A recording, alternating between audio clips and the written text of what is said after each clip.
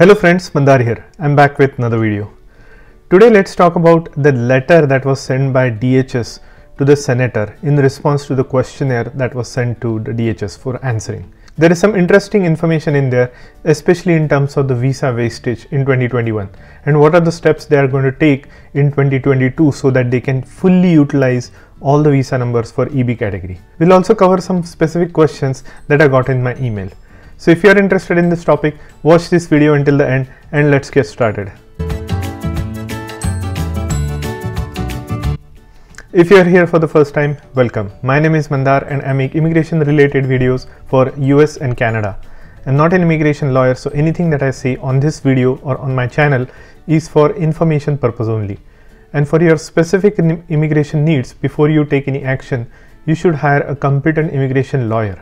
Now, first of all, I wanted to wish you all happy holidays. Now is the end of the year and we have worked very hard throughout the year. Now is the time to spend some time with the family and share some good times with them. So wish you all very happy holidays and a prosperous new year 2022. Also Merry Christmas to my friends who celebrate Christmas. It's a time for giving and sharing. My daughter played a very famous song Feliz Navidad on her piano.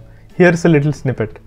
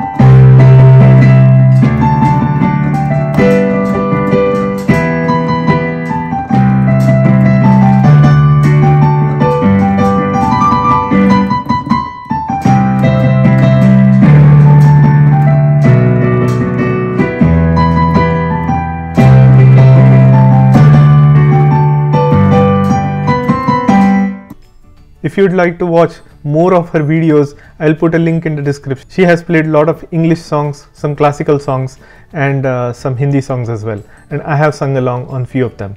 So watch that channel and hope you enjoy. Now coming back to the topic, there was a response sent by DHS to a senator regarding some of the questions regarding employment based green cards. Few people have sent me a link to this questionnaire and there is some interesting things in it. Now let's go look at it. Now, as you can see here, here is the letter from the US Department of Homeland Security in response to uh, Honorable Senator Thom Tillis.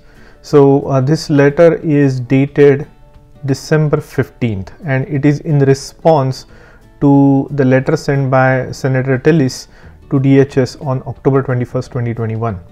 So, one of the main things that was uh, that was mentioned in this um, bulletin was how many visas were wasted uh, in in the year 2021 and they give a clear indication of how many visas. So there was a question number 2 how many employment based visas did USCIS processes FY21 and how many were waste, wasted or unused?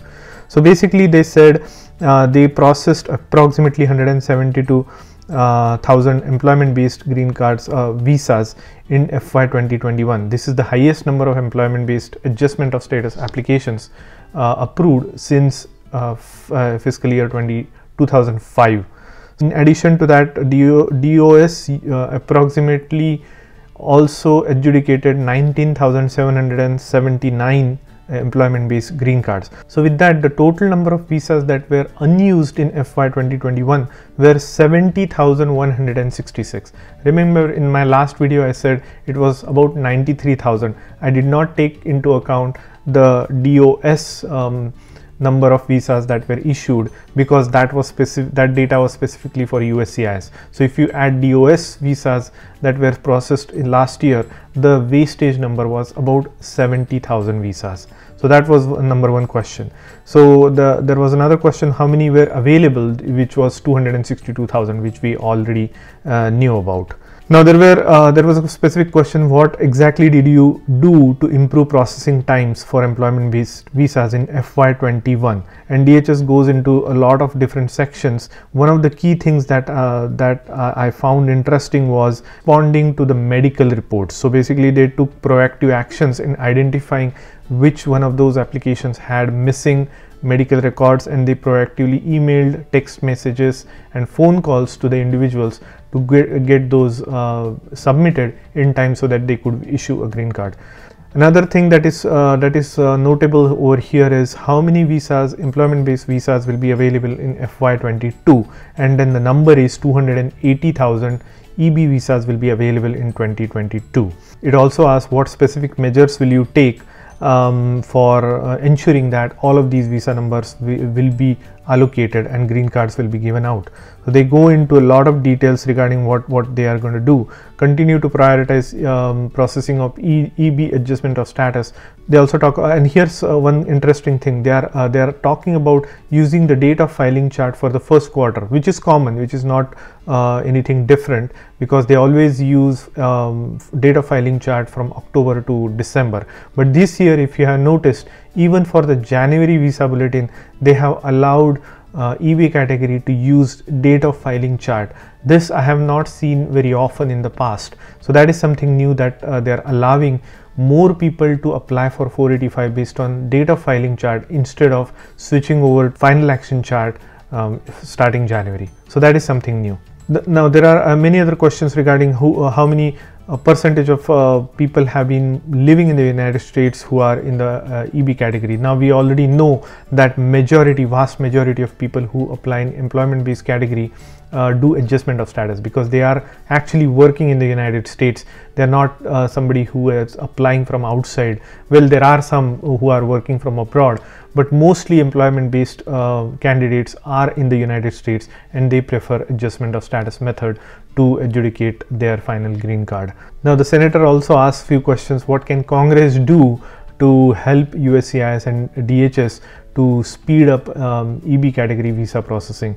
So there are a couple of things that uh, they mentioned in response, clearing of the um, backlog, recapturing unused visa, ensuring visa numbers don't go waste in the future, reducing the lengthy wait times and eliminating per country cap. These are some of the suggestions that DHS gave uh, making it easier for graduates of US universities with STEM degrees to stay in the US, uh, basically uh, extending, um, making it a smooth transition from the OPT, uh, extended OPT to green card. Uh, making it uh, also improving access to green card for workers in lower wage sections, avoiding the aging out in the system. So that is another thing that they have been asking. Providing dependence of H1B visa holders work authorization uh, although it's uh, inexistent today because they do get H4 EADs but that that is after a certain stage of the green card. After you get after the primary applicant uh, gets their I-140 approved only then the spouse is eligible for H4 EAD so they are saying uh, make it available for everybody all the H4s not just uh, certain certain of them and then the, uh, they also say creating a pilot program to stimulate regional economic development giving DHS the authority to adjust adjudicate uh, adjust green cards based on macroeconomic conditions incentivizing higher wage non-immigrant skilled visas to prevent unfair competition with the American workers. So basically they are talking about uh, geographically distribution of um, giving DHS the authority to select where they can issue more green cards than less depending on the economic, economic situation over there. Okay, so next I wanted to address one key question which I which we already talked about, uh, which is the chart to be used for January 2022 visa bulletin for employment based category.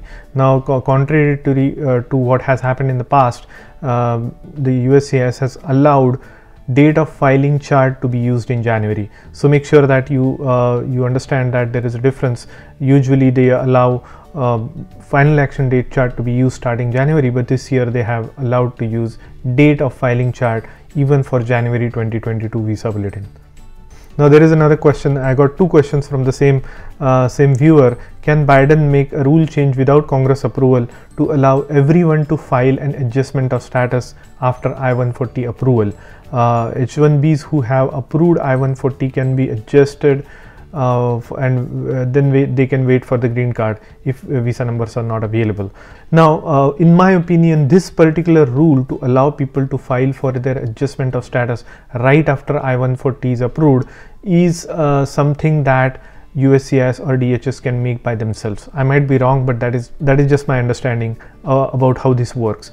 If there is a material impact to the number of green cards or num- uh, and the process by which they get the green card, if that, that is the case, then that has to go to the Congress, uh, who become who is eligible, who is not, those sort of things.